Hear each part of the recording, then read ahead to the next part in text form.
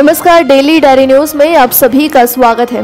दिल्ली हिंसा को लेकर मुख्यमंत्री अरविंद केजरीवाल ने गुरुवार को प्रेस कॉन्फ्रेंस की। उन्होंने कहा कि हिंसा में हिंदू और मुसलमान सबको नुकसान हुआ है। इस दौरान उन्होंने मुआवजे का भी ऐलान किया। उन्होंने कहा कि अस्पताल में घायलों का इलाज मुफ़्त में किया जा रहा है। घायलों पर फरिश्ते योजना लागू होगी।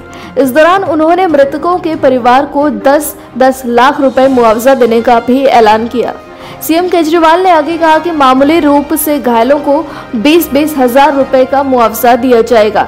हिंसा में जिनके रिक्शे का नुकसान हुआ है, उन्हें पच्चीस हज़ार ई रिक्शा के लिए पचास हज़ार, जिनका घर जला है, उन्हें पाँच लाख दिया जाएगा।